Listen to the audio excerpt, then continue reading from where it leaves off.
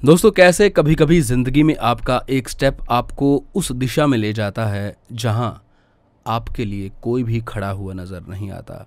आप ज़िंदगी में अकेले ही खड़े हुए खुद को देखते हैं और इस अकेलेपन में आप इतने ज़्यादा फंस जाते हैं, धंस जाते हैं, दलदल की तरह कि उससे बाहर निकलना आपके लिए मुश्किल हो जाता है। ऐसी ही एक अभिनेत्री की कहानी आपको सुनाने जा रहा हूँ, जिनके एक स्टेप ने उनकी ज़िंदगी को बर्बाद कर दिया। दोस्तों, ये बात है शशिकला जी की। शशिकला जी अपने जीवन के बारे में एक इंटरव्यू के दौरान बताती हैं कि उनके जीवन में बहुत से उतार चढ़ाव आए, फिल्मी करियर में भी और पर्सनल लाइफ में भी। बताती हैं कि उनके पिताजी शोलापुर में एक बहुत बड़े कपड़े के व्यापारी थे। बहुत बड़ा बिज़नेस था। अपनी छः छः बिल्डिंग्स थी उनकी। और जितना भी पैसा वो अपने काम, अपने बिज़नेस से कमाते थे, वो अपने छोटे भाई को लंदन में भेज दिया करते थे। दरअसल बात ये थी कि उनका छोटा भाई लंदन में पढ़ाई करने के लिए गया हुआ था। भाई के साथ बहुत प्रेम था शशिकला जावलकर के पिताजी को। और दोस्तों, वो कहती हैं कि अपने परिवार की ओर ध्यान कम रहता था। सारा ध्यान भाई पर था।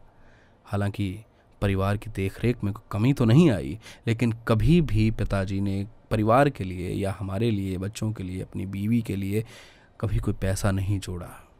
कोई सेविंग्स नहीं की। जितना कमाते, पूरे का पूरा लंदन अपने भाई को भिजवा दिया करते। और जब भाई को बाहर एक बहुत बड़ी कंपनी में नौकरी मिल गई तो उसने परिवार को बुलाना ही बंद कर दिया। भाई की तरफ़ देखना ही बंद कर दिया। जिस भाई ने पढ़ाया, लिखाया, लंदन भेजा, यहाँ से भी पैसे भेजता रहा, उस भाई को बुलाना बंद कर दिया उस छोटे भाई ने। सब कुछ भूल गया वो भाई। और यहाँ बिज़नेस ठप हो गया, पापा दिवालिया हो गए, और सभी की सभी जो बिल्डिंग्स थीं वो बिक गईं। घर तक भी अपना नहीं रहा। और बताती हैं कि कभी कभी तो ऐसा होता था कि हमें दोपहर का या रात का खाना मिलेगा या नहीं मिलेगा, ये आशंका रहती थी। ये दुविधा रहती थी मन में कि हमें रात का खाना शायद ना मिल पाए। और हम ये दुआ करते थे कि कोई हमें खाने पर इनवाइट कर ले और हमारा पेट भर जाएगा, हमारी भूख मिट जाएगी। ऐसा वक्त शशिकला बताती हैं कि हमने देखा, हम छोटे थे। मेरी उम्र महज ग्यारह बारह वर्ष की थी। किसी ने सलाह दी पिताजी को कि शशिकला देखने में सुंदर है, इसे वहाँ फ़िल्मों में काम मिल जाएगा। मुंबई चले जाओ। पिताजी, पूरा परिवार साथ लेकर मुंबई की ओर चल दिए।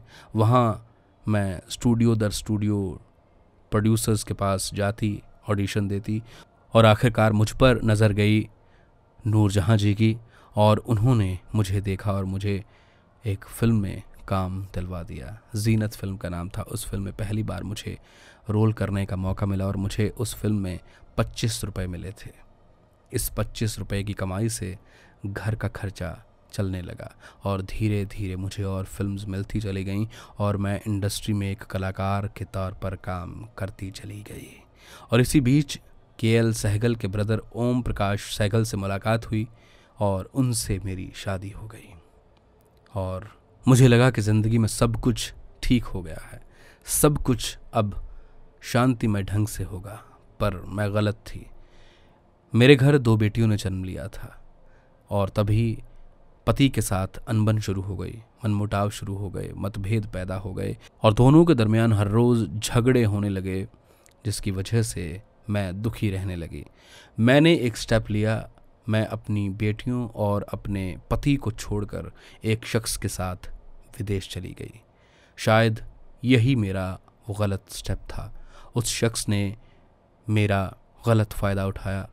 मुझे शारीरिक तौर पर और मानसिक तौर पर बहुत प्रताड़ना झेलनी पड़ी उसके साथ विदेश में। किसी तरह से मैं विदेश से भागकर भारत आ गई। बताती हैं शशिकला कि मेरी तबीयत ऐसी हो गई थी, मेरा दिमाग ठिकाने पर नहीं था। मैं पागलों की तरह सड़कों पर घूमती थी, भिखारियों की तरह खाना मांगती थी। कोई कुछ दे जाता था तो खा लिया करती थी, और इस तरह मेरी हालत भिखारियों की तरह हो गई थी। और तब मैं कलकत्ता चली गई, मदर टेरेसा के साथ, लोगों की सेवा की।